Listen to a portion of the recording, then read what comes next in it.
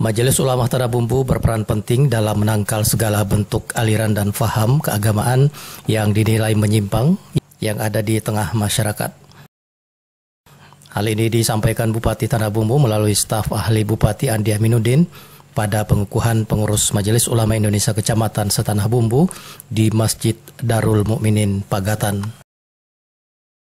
Lebih jauh disampaikan Majelis Ulama di kecamatan hendaknya mampu menyelesaikan setiap persoalan umat di wilayah masing-masing. Di antaranya mampu meluruskan perselisihan faham dan juga membentengi umat dari masuknya faham radikal. Sementara dalam menghadapi pelaksanaan pemilu 2019, Bupati juga mengingatkan kepada seluruh pengurus Majelis Ulama Indonesia Kecamatan untuk bersikap netral dalam pemilu nanti.